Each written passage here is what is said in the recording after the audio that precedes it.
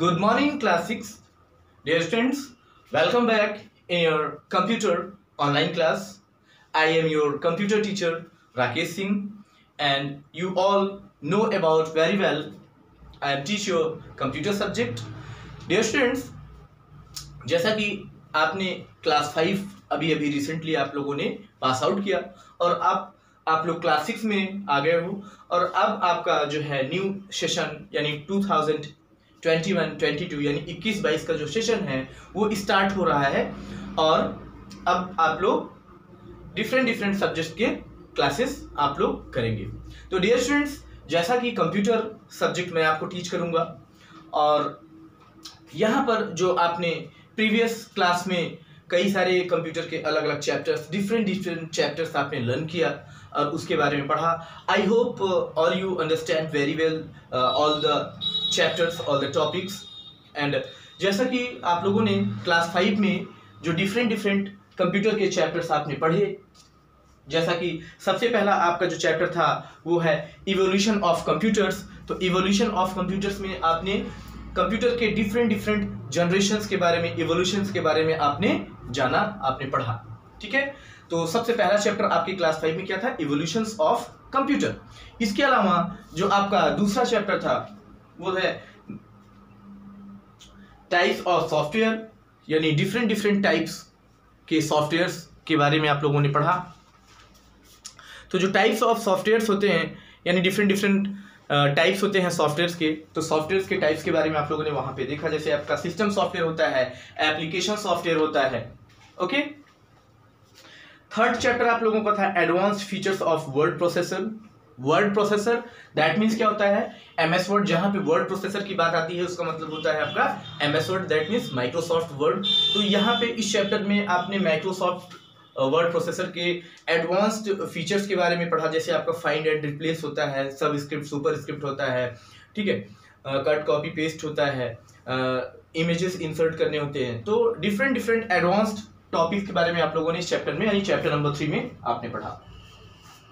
इसके बाद आपका जो फोर्थ चैप्टर था वो है more on PowerPoint more on PowerPoint यानी पावर पॉइंट क्या होता है? आप सभी लोग जानते हो PowerPoint is a presentation software presentation application suppose you want to make a presentation on your system then you can use PowerPoint application तो जब आप प्रेजेंटेशन क्रिएट करते हो तो आप क्या करते हो? पावर पॉइंट का यूज़ करते हो। आप लोगों ने अच्छे से इसको पढ़ा होगा। देन नेक्स्ट आपका था chapter number five M S Excel यानी Microsoft Microsoft Excel Microsoft Excel क्या होता है? Microsoft Excel is a database application तो ये एक डेटाबेस एप्लीकेशन होता है। यहाँ पे क्या करते हो आप? एक डेटाबेस क्रिएट करते हो।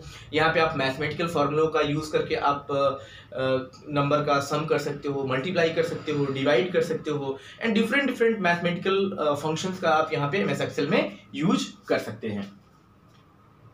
स्क्रैच प्रोग्रामिंग देन नेक्स्ट आपका है स्क्रैच प्रोग्रामिंग था। तो स्क्रैच प्रोग्रामिंग क्या है? Scratch is a visual programming fun field programming तो यहाँ पे आपने क्या किया? डिफरेंट डिफरेंट गेम्स के बारे में, जैसे छोटे छोटे जो गेम्स होते हैं, आप इसमें क्रिएट कर सकते हो, बना सकते हो with the help of Scratch programming आप उसको कमांड का यूज़ करके कर सकते हैं। नेक्स्ट चैप्टर यानी चैप्टर नंबर सेवन आपका है इंटरनेट बेसिक्स तो इंटरनेट बेसिक्स क्या होता है? इंटरनेट बेसिक्स दैट मीन्स आप इस चैप्टर में आप इंटरनेट के बारे में आपने पढ़ा।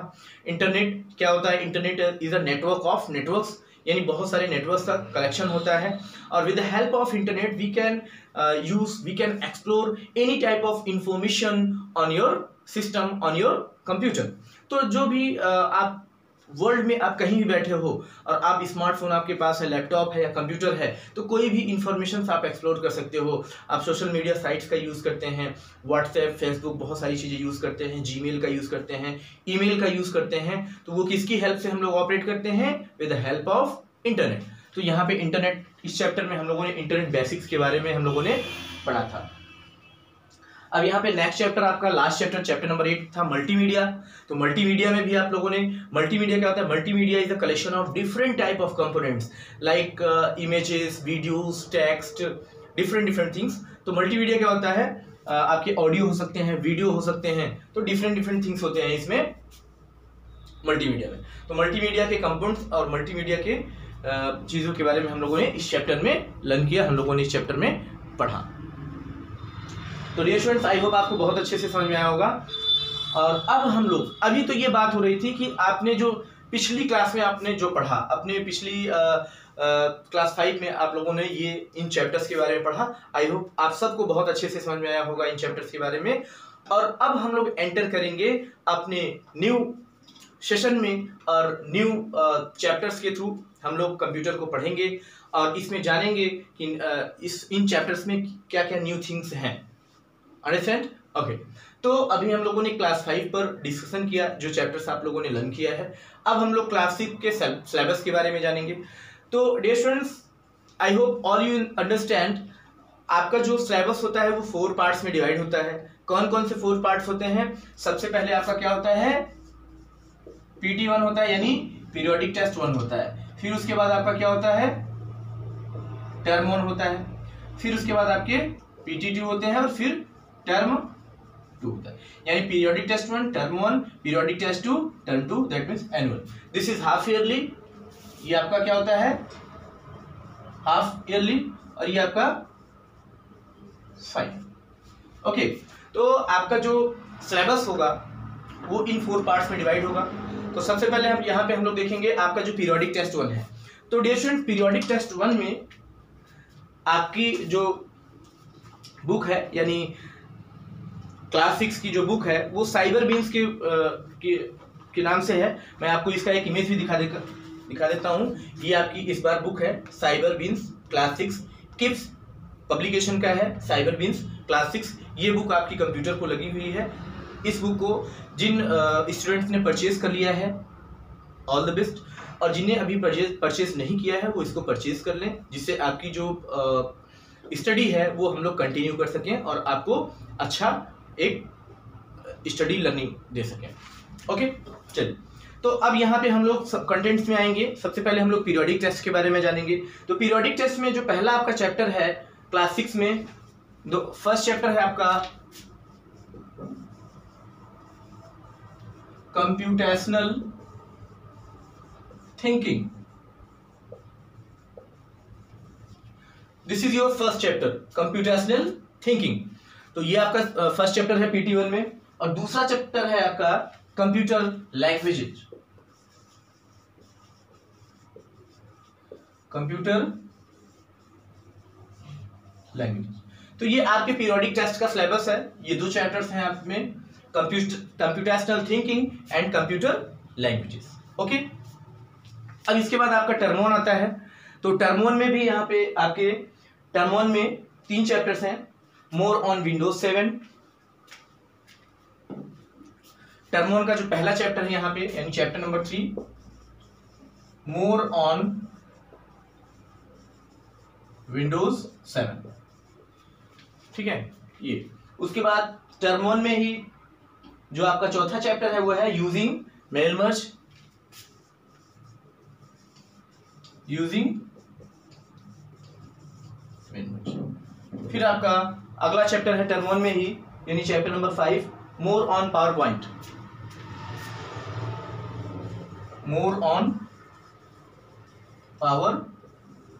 PowerPoint okay तो ये आपका टर्म वन का है। ठीक है? तो अभी तक हम लोग यहाँ पे डिस्कस करेंगे पीटी वन का आपका ये दो चैप्टर है और टर्म वन के आपके ये तीन चैप्टर है। ओके जब आप बुक उसमें ले लेंगे, आपको सिलेबस आपके ग्रुप में, आपके क्लास टीचर के द्वारा उसको प्रोवाइड कर दिया जाएगा और आप उसको मार्क कर लेंगे, ठीक है? तो इस तरह से आपको ये सिलेबस मिल जाएगा। अब यहाँ पर हम लोग सबसे जो पहला चैप्टर बिगिन करेंगे, वो हमारा पहला चैप्टर कौन सा होगा? कंप्यूटेशनल थिंकिंग का, ठीक है? कंप्यूटेशनल थिंकिंग हम लोग स्टार्ट करेंगे और उसके बाद इसको हम लोग स्टडी करेंगे लर्न करेंगे, फिर इसकी एक्सरसाइज सॉल्व करेंगे। इस तरह से हम लोग आगे बढ़ेंगे। तो इसी तरह से डियर स्टूडेंट्स आपके पीटी टू और टर्न टू के भी सिलेबस हैं। जब आप बुक परचेज कर लेंगे तो आपको वहाँ पे दिख जाएगा, आपको सिलेबस मिल जाएगा। सिलेबस को मार्क कर लेंगे। ये टर्न टू का है और ये। तो अभी हम लोग फोकस करेंगे पीटी वन पर और पीटी वन को देखेंगे। उसके बाद टर्न वन को फोकस करेंगे। ओके तो आइए देखते हैं कंप्यूटेशनल थिंकिंग जो आपका है। Then students the first topic is what is computational thinking then यहाँ से चैप्टर वन हम लोग बिगिन करते हैं। चैप्टर वन नेम है आपका computational thinking and topic is what is computational thinking तो हम लोग जानेंगे कि कंप्यूटेशनल थिंकिंग क्या होती है। तो computational thinking is a thought और प्रोसेस कंप्यूटेशनल थिंकिंग क्या है? एक थॉट है, एक प्रोसेस है। Is a thought process that teaches us how to solve complex real world problems in such a way that a human or computer can effectively carry these out तो computational thinking क्या है? एक thought है एक process है, जिसको हम लोग रियल वर्ल्ड में, जो हमारे पास कॉम्प्लेक्स प्रॉब्लम्स आते हैं, उनको हम लोग कैसे उसको सॉल्व करते हैं और उस उन चीज़ों को हम लोग कैसे कैरी आउट करते हैं, कैसे उसको समझते हैं। सपोज़ दैट हमारे पास कोई मैथमेटिक्स का कोई क्वेश्चन आता है मैथमेटिक्स का कोई क्वेश्चन आता है, उसको हम लोग उसके फार्मूला उसका फार्मूला क्या होता है, उसको हम लोग कैसे सॉल्व करते हैं, उसको रियल वर्ल्ड में हम, जैसे मान लीजिए कि हमें किसी को, उसको बताना है, समझाना है तो उस चीज़ को हम लोग कैसे कैरी आउट करते हैं, कैसे उसको हम समझते हैं। This is a computational thinking क्यों? क्योंकि जैसे कंप्यूटर होता है तो computer is made by human तो कंप्यूटर भी जो बनाया गया, वो किसके द्वारा? ह्यूमंस के द्वारा, यानी प्रोग्रामर्स के द्वारा बनाया गया, हम लोगों की तरह ही ह्यूमंस है, उनके द्वारा बनाया गया। तो उनकी थिंकिंग जो थी यानी कंप्यूटेशनल थिंकिंग उन्होंने उस चीज़ को सोचा, उन चीज़ों के बारे में जाना कि कंप्यूटर को नीड आई कि हमें एक कैल कैलकुलेशन करने के लिए, जैसे ब्रॉड कैलकुलेशन है, उसके लिए डिवाइस बनी, बनानी चाहिए।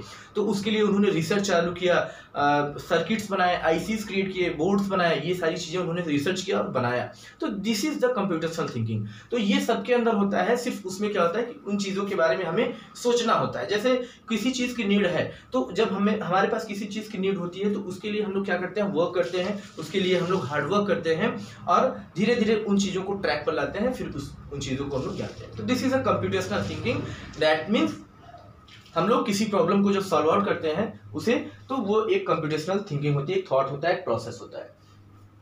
ओके तो डियर स्टूडेंट्स यहाँ पे आज का टॉपिक हम लोग यहाँ पे एंड करेंगे। तो एक हमने आपको इंट्रोडक्शन आपके चैप्टर वन को दिया। अब हम लोग नेक्स्ट क्लास से सब लोग बुक परचेज कर लें। तो नेक्स्ट क्लास में हम लोग चैप्टर वन को लेकर के चलेंगे। चैप्टर वन को एक्सप्लेन करेंगे और भी चीज़ों के बारे में हम लोग जानेंगे। देन तब तक के लिए class thank you all the best